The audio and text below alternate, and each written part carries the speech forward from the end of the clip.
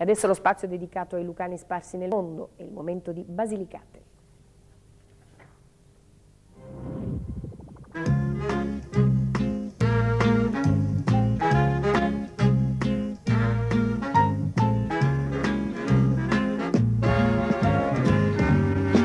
Buonasera e benvenuti all'appuntamento del mercoledì con la storia e le storie dei lucani nel mondo. Questa sera andremo in Argentina, ma prima, come al solito, dalla redazione le notizie degli ultimi giorni.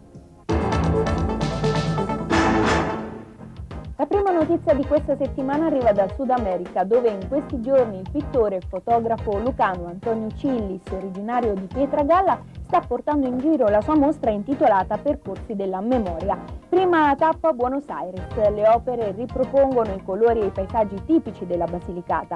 Numerosa la partecipazione dei lucani che con emozione hanno ammirato le tele dell'artista ricordando così la terra d'origine.